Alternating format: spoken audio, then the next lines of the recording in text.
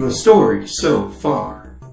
Derplemie has teammates Dunsparce, Emolga, and Virizion all joined at the same time to make an official team. Alright. Meanwhile, in another space at the same time, the Condor APSC engaged in combat against a horde of mutated creatures before reaching the destination of his final showdown against Kube.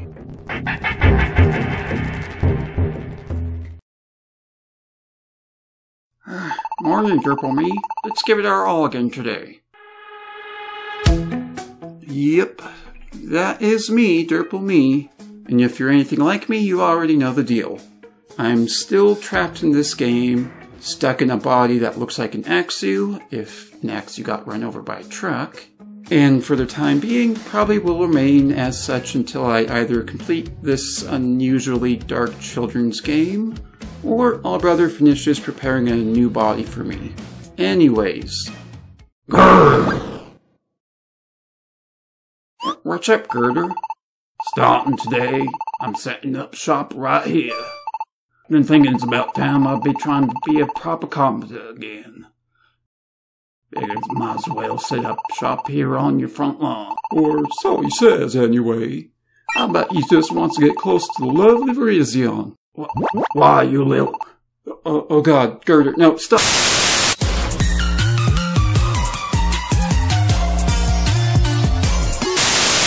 Hey, ain't that old Girder?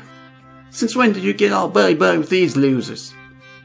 Well, look who's talking. What's a cook like yourself doing in a nice place like this?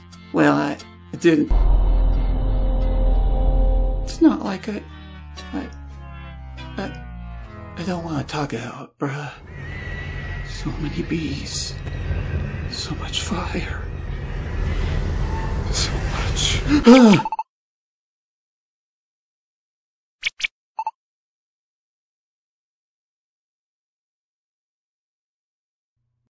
Looks like you got some issues of your own there, pal. Whatever. Getting back to what I was saying before. I've been thinking about setting up shop right here from now on. Any objections? Of Course not, Dark. Your country twang's got me again. I was counting on that fact.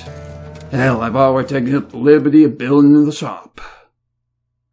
Pretty awesome, I know. Course, it's been a long time since I've done any real work around here, so I'm awful rusty. But you just built our house, though. That's true, but, um... I've been thinking things might be better if I could get my hands on a sturdy vine or two. Er, is that all? What exactly do you need the vines for? Uh, uh, um, uh, you see, Oh, you probably want them to help retrain yourself now. Alrighty then, we'll just go get some for you. Um, where do we get them? The request board. We get sturdy vines, along with other building material, as rewards for completing jobs posted to the request board. We do jobs, we get the materials needed to build a new shop here in Paradise, and then Girder builds said shop. We do this for 40 years and then we die. So, which jobs will give us sturdy vines? All of them. All of the jobs posted to the passerby post on this particular day will always reward us with three sturdy vines. You mean the request board? Oh, I'm sorry, you're right. All request boards posted to the passerby post on this particular day will reward us with three sturdy vines. That's not what I. whatever. Since all the jobs are pretty much all the same as far as rewards go, I decided to go with the one that would be the more challenging dungeon for reasons I'll go into later. And it seems I've brought along the same party members as last time. Oh, hell no. Adventure hint. Enemy Pokemon can evolve too. Not only can they evolve by defeating other Pokemon, Yeah, so allow me to explain what the fuck just happened off screen here. Dunsparce, our lovable fat snack, wandered off from the rest of us, burnt up our only two reviver seeds, and got KO'd by a wild enemy Pokemon. Now, from this particular entry into the Pokemon Mystery Dungeon series onwards, whenever a wild enemy Pokemon manages to defeat another Pokemon, usually one of your party members, in the dungeon, and said defeated Pokemon doesn't have any means of instantly reviving itself by, say, Reviver Seed, then it will evolve into its next stage in that evolution line, a mechanic that was brought over from Shiren the Wanderer. In fact, it's only just one of several I'll probably go over in a later video way down the road. In this particular case, Dunsparce was defeated by a Croagunk, and said Croagunk has now evolved into a Toxicroak. Said Toxicroak is probably now many levels higher than either me, Kipper, or Tartary and I reckon we are not strong enough together to even hope of tackling it should we come across it. Our only hope of surviving this is to carefully and mindfully navigate the floor to the stairs, avoiding this poisonous murder frog at all costs. I cannot afford to dash through these corridors or even into any rooms Doing so just might lead me to run straight into this actual threat, wasting my turn and giving him a free turn to jab that middle finger claw into my abdomen, causing severe pain while injecting me with poison. I don't like Toxicroak. I like frogs. I like poison fighting types. We need a Sneasler in this game.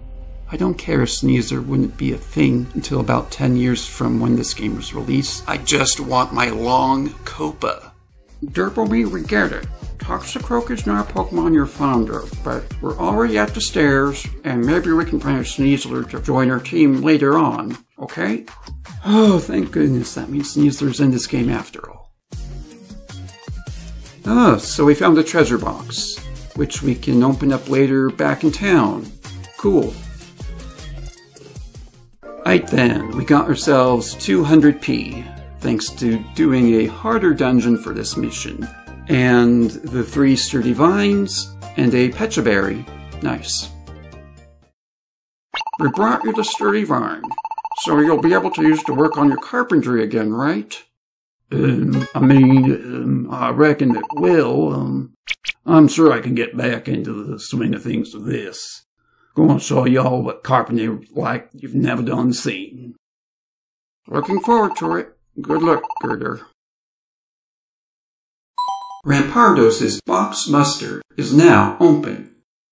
Guess with a shop name like that, it's pretty self-explanatory.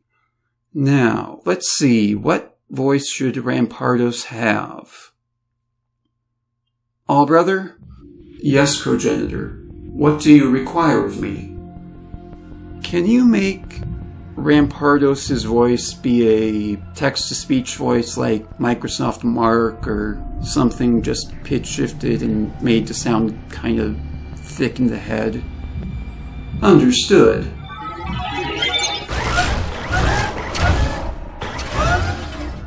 Listen. It has finally happened. The shop is finally totally ready for business. Back to busting boxes. Yeah. Yeah. Hello. I am the box buster. Bring me treasure boxes and I will bust them open for 150p. The heavy box, right? Alright. Watch this. Impressive. Here. You got a gold bar. Looks like you are out of treasure boxes today. Come back when you have more. Neat. Though I'm not sure if the shop where we could actually use these gold bars is even open yet. Yeah, no, it's not. Ugh. Oh well. Um, so what do we do now, though? I mean, we should probably do some more request board missions, since that's kind of our job now. this is my life now, isn't it? Doing these jobs until my new physical body is done and ready, I guess. Oh, hello there, Archen. Oh, well, as you can see, I decided to bring Emolga along for this mission. Kipper, where are you going? Don't worry about it, Purple Me. I've already defeated them. That's not what I... I'm going to give you the reunion cape, so that if you wander too far from me, you will automatically warp back to my side. I do not want you pulling a Dunsparce on me. Hello, yes, I want you on my team. Now, let's name you Scrobbles, after the Archen I had back in my first playthrough of Pokemon White. Welcome to Team Helix, Scrobbles.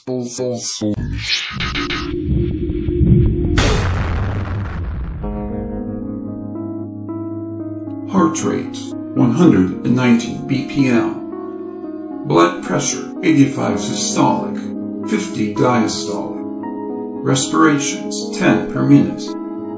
Pulse oximetry of 83% indicates severe hypoxia and neurovascular compromise. Progenitor, you are not well.